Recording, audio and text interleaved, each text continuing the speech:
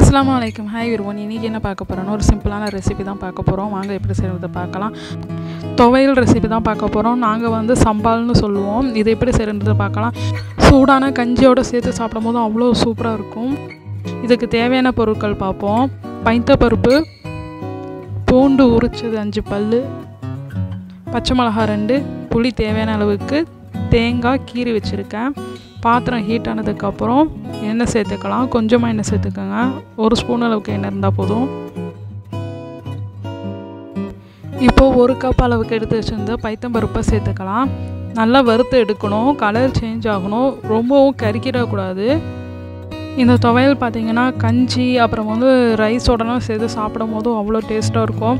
இது நீங்கள் இட்லி தோசை அதுக்கு கூட தொட்டு சாப்பிடலாம். எல்லாத்துக்கும் நல்லாயிருக்கும் ட்ரை பண்ணி பாருங்கள் லோ ஃப்ளேம்லேயே வச்சு வறுத்துடுங்க. உங்களுக்கு வறுக்கும் போது ஸ்மெல் வந்து நல்லாயிருக்கும்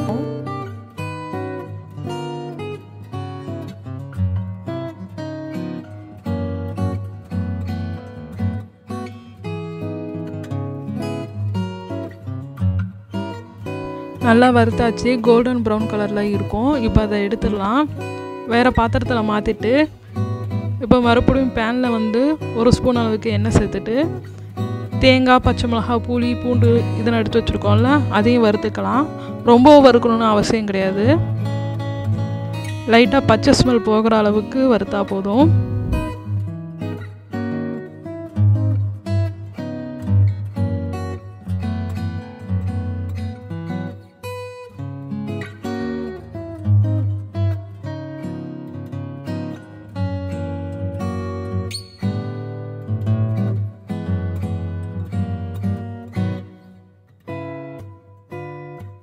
ஓரளவுக்கு நல்லா வதங்கிடுச்சு. இப்போ எடுத்துடலாம்.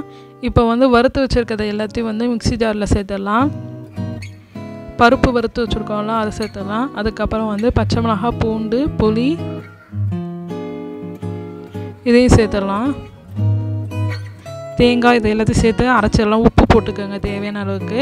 தண்ணி வந்து கொஞ்சம் கொஞ்சமாக சேருங்க. அதிகமாக சேர்த்துறாதீங்க. அப்புறம் வந்து ஒரு சட்னி மாதிரி ஆகிரும். அதனால் வந்து லைட்டாக தெளித்து விட்டு அரைக்க ஆரம்பிங்க. அதுக்கப்புறம் தேவைன்னா தண்ணி சேர்த்துக்கலாம். இப்போ நல்லா அரைச்சி எடுத்து வச்சு நல்லா கெட்டியாக தான் இருக்கும்.